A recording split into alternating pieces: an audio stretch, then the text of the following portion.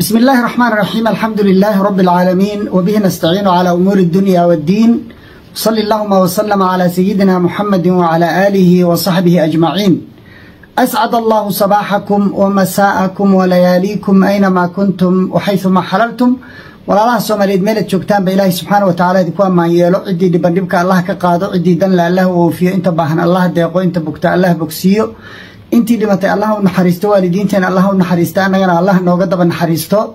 Dalka diinta dadka iyo dowladnimadaba ilaahay subxaana wa tacala inoo badbaadiyo. Maanta waxaan ka hadlayaa laba qodob. Qodobka koowaad madaxweynihii hore maxaa cabdullaahi farmaajo oo dalka ku soo wajahan iyo arrimaha waxa khuseeya. Kelimad baan ka oran doonaa. Abiy axmed iyo ethoobiya oo xargaha goosatay iyo xaaladihii ugu dambeeyey ee ay ku sugan tahay ethoobiya iyo dowladda soomaaliya waxa kaga aadanna kelimad baan ka oranaya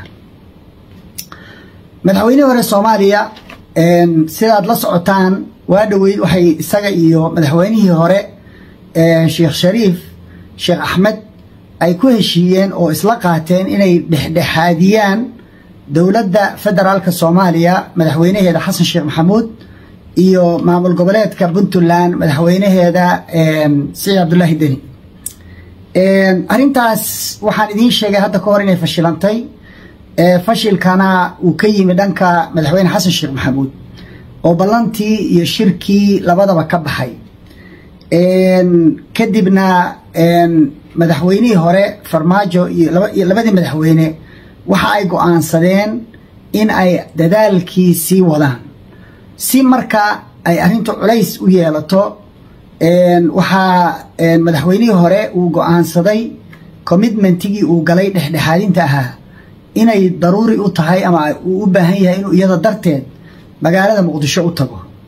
Halkaasoo uu kula kulmi doono madax iyo ma garanaysaa siyaasiyiin kala duwan si arintaas ay wadaan ay uga miro dhaliyaan marka insha allahu tacala waxaan rajaynaynaa inay ku guulaystaan oo ay heshiis iyo wada jir ay halkaa ka soo dhaliyaan.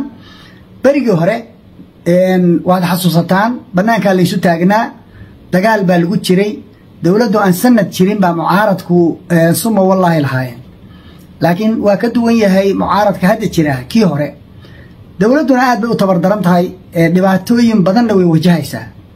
Waxay wajahaysaa dhulkii soomaaliya oo dullaan lagu yahay therefore uma baahna sidaa awgeed uma baahna dowladda soomaaliyeed in mucaarad toos ah iyo iyo buuq iyo qaylo lagu kiciyo uma baahna waxay u baahan tahay in geesaha lagala istaago madaxweynaha wakhti la siiyo la garab istaago talooyin la siiyo lala hadlo wixii ka khaldan laga saxo wixii ma garanaysaa u saxan lagu taageero la garab istaago. Madaxweynihii hore farmaajo ma aha umana muuqdo nin argosi siyaasadeed iyo qaabkii isaga loola dhaqmay u dhaqmaya. Waana ku ammaanan yahay waana runtii tala fiican oo la rabo dadka mucaaradku inay ka bartaan markii aad wax mucaaradaysid dowladdu marka aysan mucaarad u baahnayn iyo markay mucaarad u baahan tahay waa inaad kala taqaan.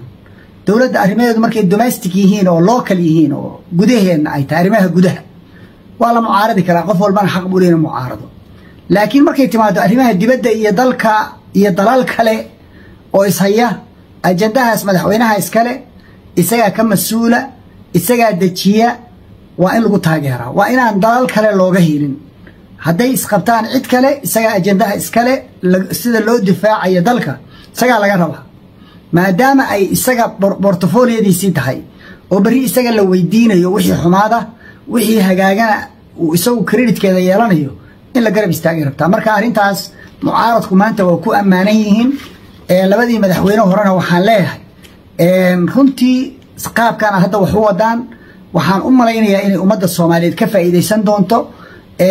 Haddii aad ku guulaysataan heshiisiinta labadaas hogaamiye aad ku guulaysataan waxaad noqon doontaan garaha waaweyn iyo arrimaha murugsan ee dalka soomaaliya dhex yaalla in ma garanaysaa laydinka dambeeyo oo laydiin diro. Marka allah idin garab galo. Arrintaas marka koowaad madaxweynuhu imaanayaa. Marka labaadna qadiyaddu u socdo.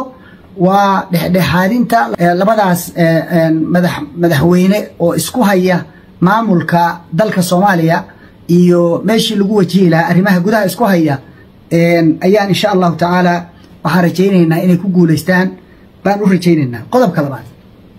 Abi axmed marka koowaad gudaha wadanka soomaaliya wuxuu ka wadaa qalalaasi dadkan la laynayo ee u shaqeeya civil aviationka soomaaliya ama ma garanaysaa laanta hawada u shaqeeya waxaa ka dambeeya oo oo soo abaabulaya oo dacminaya weliba dad gaara la beegsanayo. Dadka ka soo jeeda waqooyiga la beegsanayo. Si muuse biixi iyo koox yar oo mashruuca goonigoosadka ku lacag qaadata dhaqaale ku samaysa. Ilaa xad maraysa waali dadka beentii ay u sheegayeen ay soo afjarantay shacabkii ay kaceen oo waxgarteen reer somalilan boqolkiiba sagaashan iyo ka badanba inaanay u bislayn rabinna una bukin una hanqaltaagayn beentii lagu akhriyi jiray inay ku sii socoto. Oo ay diyaar u yihiin rabaanna jecel yihiinna soomaalinimada iyo midnimada arrintaas oo aada ugu foorarta ayaa waxaa la ysku dayayaa iyaga iyo reer muqdisho in colaad laga dhex abuuro. Dad baa marka muqdisho lagu laynayaa.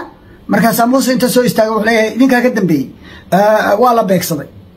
Waa fahmayaan dadku intooda badan. Isku dirkaas etoobiya ka dambaysa. Abiy axmed waa madax dhuladhac waxaan arkay oo kale abiy axmed oo isku dayaya cid kasta oo uu heshiis la geli karo inuu heshiis la galo waxaan arkay safiirkooda soo qoray safiirkooda bakistan oo soo qoray waxaan la kulmay taliyaha ciidamada.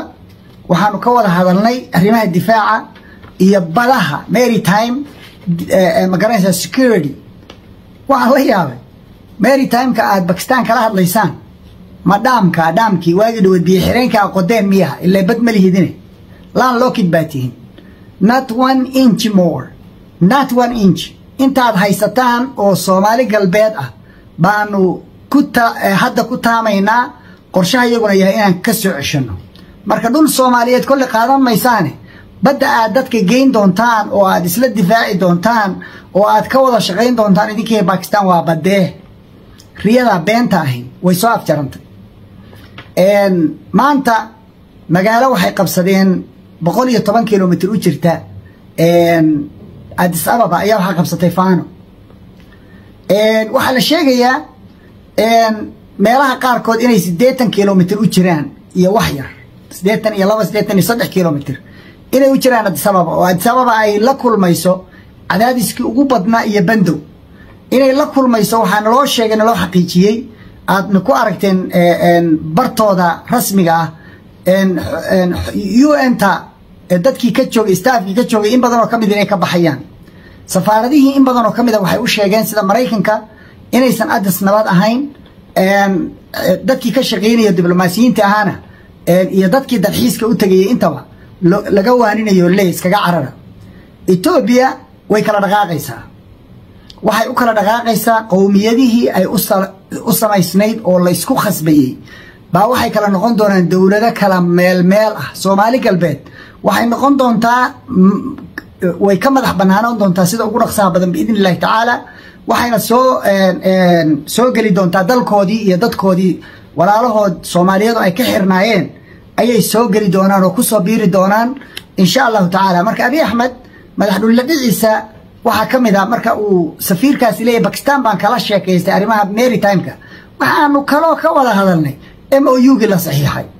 Therefore mar haddii m o u la saxiixay bad baanu leenahay baddaanu ka wada sheekaysanay waxaan arkayaa oo kale inay maanta hadda wada joogaan madaxweyne xasan sheekh maxamuud iyo abiy axmed inay wada joogaan nairobi.